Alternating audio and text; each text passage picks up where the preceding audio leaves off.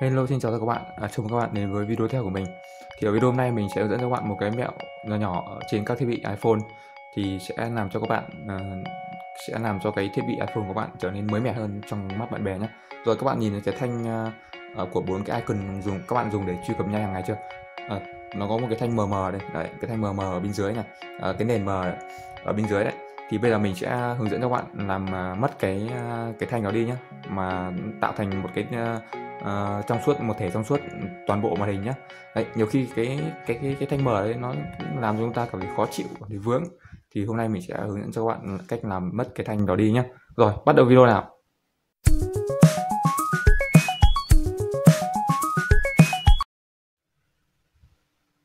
Rồi bắt đầu, để mà làm được như thế thì trước tiên các bạn vào cho mình trong phần máy nhé, phần cài đặt chung của máy này. Ok, phần cài đặt chung. Cài đặt chung đâu ta? Đây đặt chung đây. Do các bạn chọn phần uh, trợ năng nhé trợ năng này. Đó. Rồi tiếp đến các bạn tìm phần thích nghi màn hình này. À giờ mình xin lỗi phần uh, giảm độ trong suốt này. Trong suốt này các bạn tắt đi nhé đấy nếu bạn nào đang uh, bật lại như này thì các bạn tắt giảm độ trong suốt đi. Rồi ok tiếp theo thì ờ, bước tiếp theo các bạn vào cho mình mục Safari và các bạn à, vào cho mình một trang web. Thì cái trang web này nó hơi bị hơi bị dài. Thì mình sẽ để ở dưới link mô tả các bạn có thể à, kích vào để tải nhé cái trang web này nó hơi dài. Đó đây là toàn bộ cái giao diện của trang web. Và các bạn kéo xuống. Đây mình sẽ chọn vào phần là hai đắc uh, wallpaper nhé đấy các bạn chọn vào.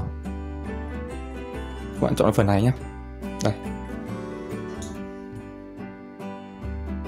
đó.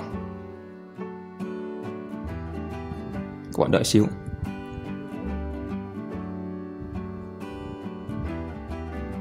Ờ, Ở máy nó hơi chậm đấy rồi.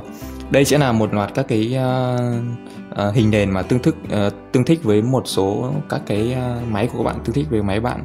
Đấy cũng như các uh, cái hệ điều hành của các bạn. Đấy. Đấy. Rồi. Đấy thì mình đang à, sử dụng chiếc iPhone 6 thì mình sẽ chọn ừ, một cái uh, uh, của uh, đây. In uh, Invist uh, Babel Docs của uh, 876 này. Đó. Rồi mình sẽ chọn vào cái này đi thì mình chọn. Ok. Đây. Rồi phía dưới này là một loạt các cái hình nền. Đấy nó rất nhiều hình nền. Ố xanh đẹp đó. Rất nhiều hình nền đấy các bạn có thể chọn uh, mục uh, hình nền mà các bạn thích nhé rồi mình chọn uh, một cái nhé mình chọn màu uh, mình sẽ chọn màu xanh này đi cho nó nhìn cho nó mát này. Ok mình chọn xanh này nhá. Kích vào. Đó các bạn uh, chọn uh, giữ màn hình nhá. Đấy để lưu hình ảnh này. Đó ok. Rồi uh, có vẻ đã lưu được rồi đấy rồi các bạn tiếp tục vào mục ảnh cho mình nhé. Đó. Rồi. Ảnh này. Chọn mục ảnh này. Rồi các bạn chọn à, đặt hình nền này. Thêm này. À mình xin lỗi. Đấy. đâu nhỉ mục đặt hình nền đâu nhỉ? đây đây đây. Dùng làm hình nền.